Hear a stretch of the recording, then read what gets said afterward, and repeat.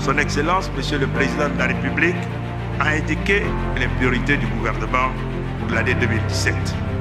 Je m'attelerai donc, avec la nouvelle équipe gouvernementale, à traduire ces priorités et ces orientations en actions visibles avec rigueur et efficacité.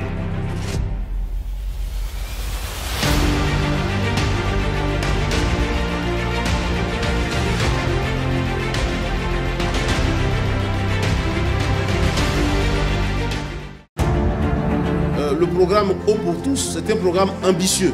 Parce que l'eau est vraiment source de vie. On ne peut pas arriver à l'émergence si les populations n'ont pas accès à l'eau. Avant, à 4 h du matin, on s'élève pour aller au marigot. Ça nous fait du bien, on est content. Quand je envoyer l'eau potable, on est content. Le président a, a pris l'engagement d'électrifier tous les villages donc, euh, qui ont plus de 500 habitants. Ce sera chose faite. Vraiment, l'arrivée de ce barrage vraiment nous fait beaucoup de joie parce que nous avons subi tellement de délestages. Tout ce qui peut être fait pour permettre à nos concitoyens de se déplacer tranquillement, nous le ferons.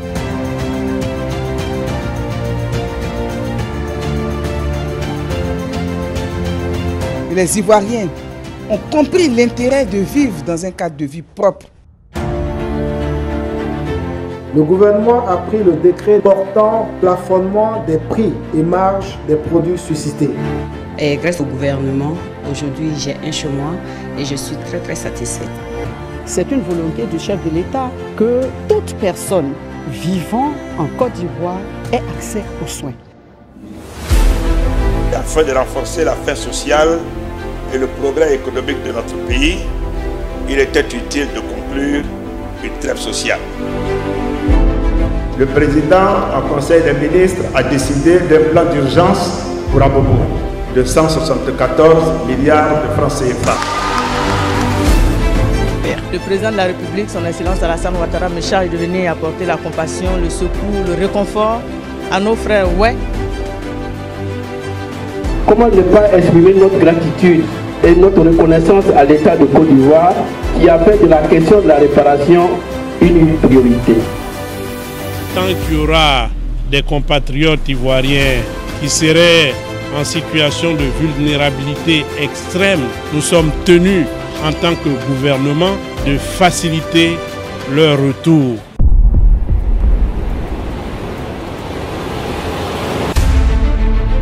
Notre travail, c'est de faire en sorte que nous ayons une grande armée.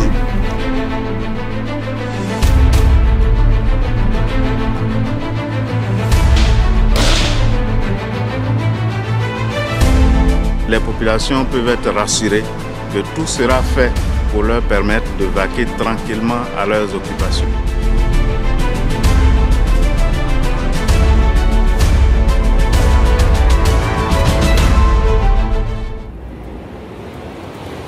L'émission de l'Eurobond 2017 de la Côte d'Ivoire a été bien accueillie par la communauté des investisseurs et a connu un franc succès. Le gouvernement compte sur la contribution de tous, et en particulier du secteur privé, en vue de maintenir notre dynamique économique. La réforme de la filière donc café-cacao a permis de doter cette importante filière d'un mécanisme performant de gestion des prix. D'importants efforts ont été déployés par l'État dans le domaine des infrastructures pour améliorer la compétitivité de notre économie.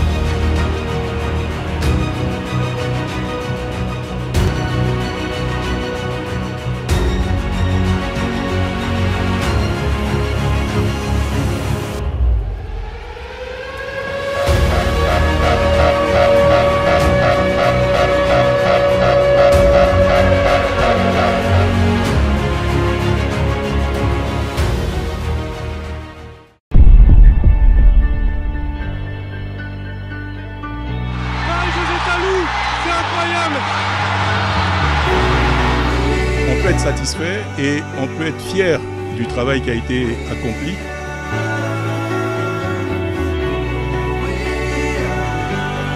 Je suis confiant à l'avenir donc de ce pays quand je vois tous ces jeunes enthousiastes et qui montrent ainsi leur détermination à ce que nous ayons donc en Côte d'Ivoire un climat de paix pour leur assurer l'avenir légitime qu'ils sont en droit d'attendre donc des gouvernants.